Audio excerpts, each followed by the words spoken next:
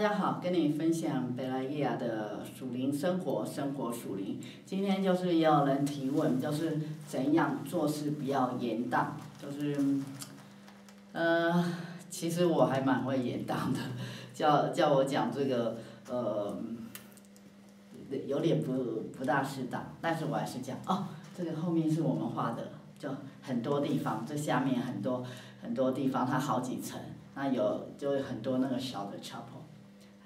这个不是重点。好，那我们重点就是呃，怎样不要延宕事情。就像我来这边呃画圣像画的时候，哎，我就跟我自己讲说，哎，我要录多少灵修生活的影片？一百，我是估计一百。现在已经录了大概二十几，我还录的蛮快的，嗯，然后。所以我就至少进度有维持维持到没有延宕，还有另外一个我还想做的就是这边也有图书馆，离我房间很近，我打算就是半夜吧去拍照，因为白天时间很少时间，像现在因为等一下要吃饭嘛，所以现在休息，然后晚上的话可能没没人，但是又怕那个。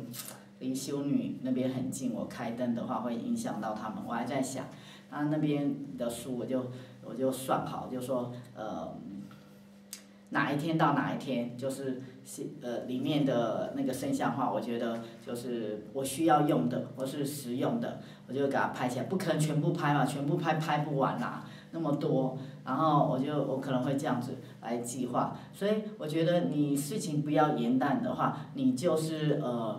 要有计划，那你有计划，你当然要呃执行。那首先，我个人计划不要太久，因为计划太久，你通常不会，就是你做一点没有达到你就放弃，所以你把它弄成一个短时间的计划。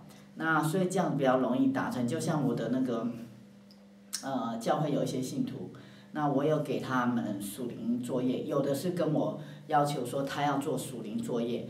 呃，那我说好，那我出给你。那有的是我跟他讲说你要做属灵作业，那通常都是有期限，他们会交交给我。那有有两个，呃，有两个都比较准时。那还有几个有时候都不准时，都过期，快要过期，还没过期之前，我就会通知他们说快点教我，怎样怎样这样。然后他们大部分都会跟我讲说，哦，最近工作很忙啦，什么。学校的事情啊，反反正一定有理由的。可是其实我跟你讲，我给他们的属灵作业，嗯，就是，呃，一个月一次，一个月一次，你知道那一次的作业大概多久可以做完？不用两小时就做完，因为我自己有先做过，根本可能连一小时都不用就可以做完，所以是很轻松。但是我想要给他们更多，但是他们就是拖到最后几几天。对，这个影片就是给你。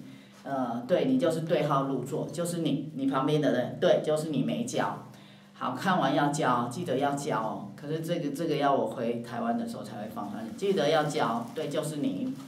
然后你不要笑，你就是常常呃拖延。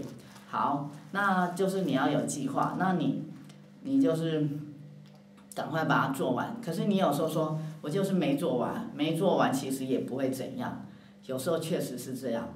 那有时候没做完不会怎样，表示那个根本就不重要的事情，可有可无，所以你就直接把它删掉，那个根本就不用写在你的计划之内。因为有些事情你可能写了，呃十样或八样，那你做了两三样，可是你发现那两三样根本就不重要，有做没做都无所谓，所以那根本就不要放在计划里。可是有些是很重要的，你反而不想做，你反而不想做，你一直拖一直拖，所以你一定要开始。做第一步，做第一步的时候，你就会。